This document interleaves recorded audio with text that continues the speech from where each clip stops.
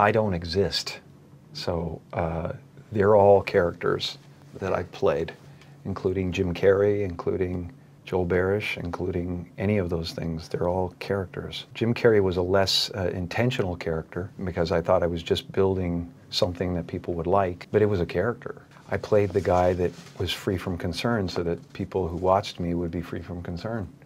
You know, and uh, and then at a certain point you go like, okay, well, that's great, but you know, it's like the one thing like people talk about depression all the time. The difference between depression and sadness, sadness is just, you know, from happenstance, whatever happened or didn't happen for you, or you know, grief or whatever it is, and depression is your body saying, fuck you, I don't want to be this character anymore.